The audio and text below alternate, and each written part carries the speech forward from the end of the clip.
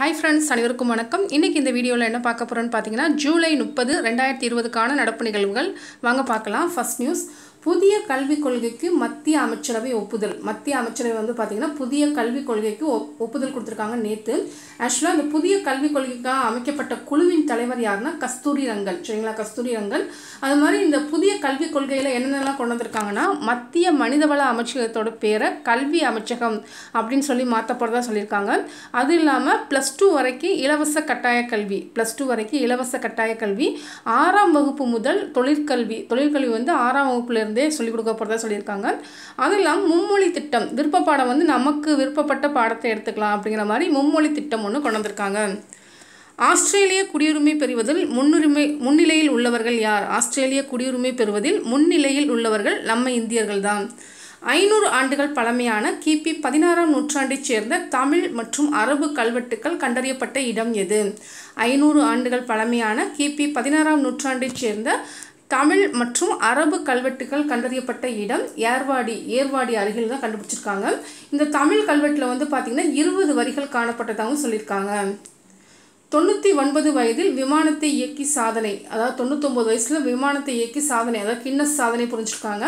யாருன்னா அமெரிக்காவில் இருக்கக்கூடிய கலிஃபோர்னியாவை சேர்ந்த ரோஃபினா அஸ்தி ரோஃபினா அஸ்தி. புவி அமைப்பு அறிவியலில் சிறந்து விளங்கியதற்காக வாழ்நாள் சாதனையாளர் விருது பெற்றவர். புவி அமைப்பு அறிவியலில் சிறந்து விளங்கியதற்காக வாழ்நாள் சாதனையாளர் விருது பெற்றவர் யாருன்னா அசோக் சாக்னி அசோக் சாக்னி. இந்த விருதை யார் வழங்கியிருக்காங்கன்னா மத்திய புவியியல் துறை அமைச்சராக இருக்கக்கூடிய ஹர்ஷவர்தன். ஹர்ஷவர்தன் தான் வழங்கியிருக்காங்க. அது மாதிரி இந்த விருதை வழங்கக்கூடிய அமைப்பு எதுனா பூமி அறிவியல் அமைச்சகம் அதாவது புவி அறிவியல் அமைச்சகம் தான் வழங்குறாங்க. இதில் மொத்தம் ஏழு பிரிவுகளில் விருதுகள் வழங்கியிருக்காங்க. அந்த ஏழு பிரிவுகளில் ஒன்று தான் இந்த வாழ்நாள் சாதனையாளர் விருது. இந்த விருதை பெற்றவங்க அசோக் சாக்னி. பின்னாடி வந்து பார்த்திங்கன்னா மீதி ஆறு பிரிவும் பார்த்துடலாம். சரிங்களா? அடுத்தது டெஸ்ட் கிரிக்கெட்டுகளில் ஐநூறு விக்கெட்டுகளை வீழ்த்திய ஏழாவது பந்து வீச்சாளர். டெஸ்ட் கிரிக்கெட்டுகளில் ஐநூறு விக்கெட்டுகளை வீழ்த்திய ஏழாவது பந்து வீச்சாளர் யாருன்னா இங்கிலாந்தை சேர்ந்த ஸ்டீவர்ட் பிராட். ஸ்டீவர்ட் பிராட் தான் ஏழாவது பந்து வீச்சாளர் அதாவது ஐநூறு விக்கெட்டுகளை வீழ்த்தியவர் டெஸ்ட் கிரிக்கெட் போட்டிகளில். அப்போ ஃபஸ்ட்டு செகண்ட் யாருன்னு பார்த்தீங்கன்னா முதலாவது இலங்கையைச் சேர்ந்த முத்தையா முரளிதரன். முத்தையா முரளிதரன் இந்த ஃபஸ்ட்டு பந்து வீச்சாளர். அதே மாதிரி ரெண்டாவது வந்து பார்த்திங்கன்னா ஷேர்ன் வான். ஷேர்ன் வான்கிறவர் தான் ரெண்டாவது. ஏழாவது இடத்துல இங்கிலாந்தைச் சேர்ந்த ஸ்டீவர்ட் பிராட். படகோட்டலில் சிறந்து விளங்கியதற்காக குஸ்டாஸ் ட்ரூ விருது பெற்ற இந்தியாவின் முதல் சூரிய சக்தியில் இயங்கும் படகின் பெயர் என்ன?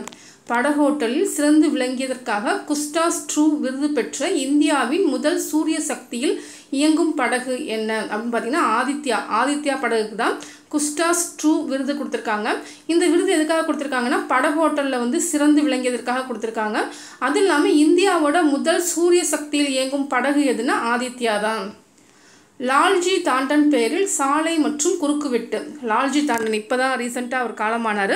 ஆக்சுவலாக அவர் வந்து மத்திய பிரதேசத்தோட ஆளுநராக இருந்தவங்க. ஸோ அவங்க வந்து அவங்க நினைவாக வந்து பார்த்தீங்கன்னா லால்ஜி தாண்டனோட பேரில் சாலை மற்றும் குறுக்குவெட்டுக்கு பேர் வச்சுருக்காங்க.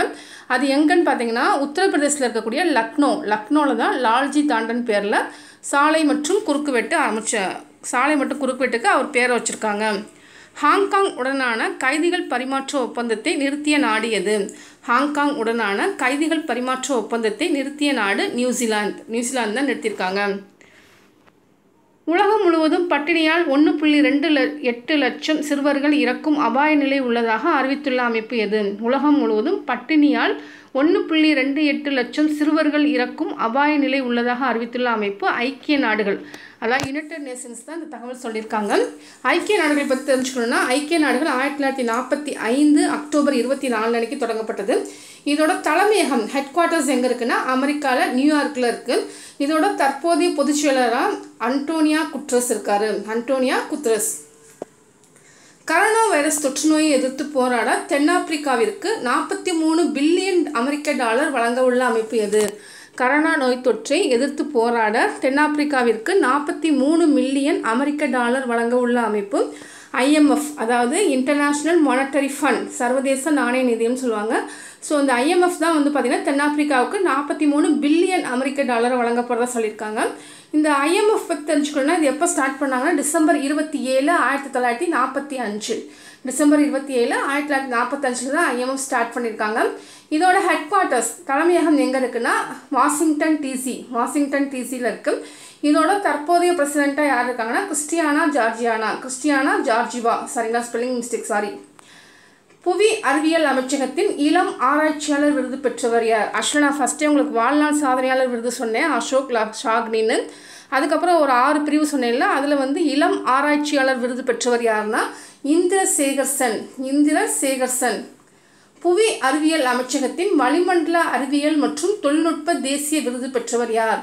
புவி அறிவியல் அமைச்சகத்தின் வளிமண்டல அறிவியல் மற்றும் தொழில்நுட்ப தேசிய விருது பெற்றவர் சுரேஷ் பாபு.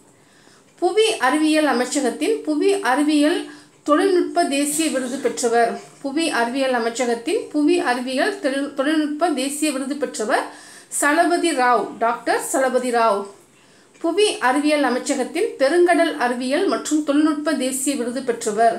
புவி அறிவியல் அமைச்சகத்தின் பெருங்கடல் அறிவியல் மற்றும் தொழில்நுட்ப தேசிய விருது பெற்றவர் பிவிஎஸ்எஸ் சர்மா விவிஎஸ்எஸ் சர்மா. புவி அறிவியல் அமைச்சகத்தின் அண்ணாமணி விருது பெற்ற பெண் விஞ்ஞானி. புவி அறிவியல் அமைச்சகத்தின் அண்ணாமணி விருது பெற்ற பெண் விஞ்ஞானி Lidita D S Kande Burger Lidita D S Kande Burger புவி அறிவியல் அமைச்சகத்தின் பெருங்கடல் தொழில்நுட்ப தேசிய விருது பெற்றவர். புவி அறிவியல் அமைச்சகத்தின் பெருங்கடல் தேசிய நுட்ப சாரி தொழில்நுட்ப தேசிய விருது பெற்றவர் ஆத்மநாத். இந்த ஆத்மநாத் வந்து எண்ணெய் ஓட்டியோட டைரக்டராக இருக்காங்க. அது மாதிரி முன்னாடியே பெருங்கடல் ஒன்று பார்த்துருப்போம். அது வந்து பெருங்கடல் அறிவியல் மற்றும் தொழில்நுட்ப தேசிய விருது. இது வெறும் பெருங்கடல்னு கொடுத்துருக்காங்க. சரிங்களா? பெருங்கடல் தேசிய தொழில்நுட்ப தேசிய விருது இது ஆத்மநாத். கேவிபி அதாவது கரூர் வைசியா பேங்கோட மேலாண் இயக்குனர் மற்றும் தலைமைச் செயல் அதிகாரி அதாவது சிஇஓ சிஇஓ யாரை நியமிச்சிருக்காங்கன்னா? ரமேஷ் பாபு. ரமேஷ் பாபு.